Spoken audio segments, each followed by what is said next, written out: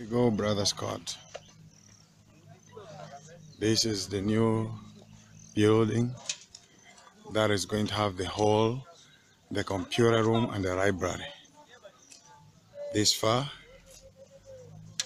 we've come. It's a very, very, very, very great project. We appreciate you for your support and for your love here at Voices of Love.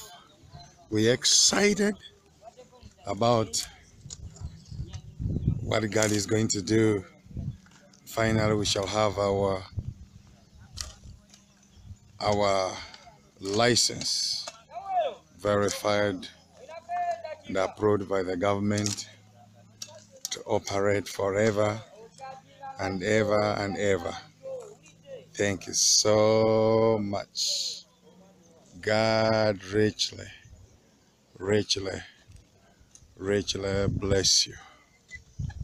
They are filling in the the soil because the other side is slanty.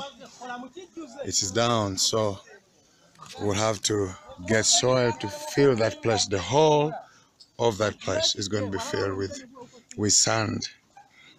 Glory be to God. We love you and God bless you. Bye.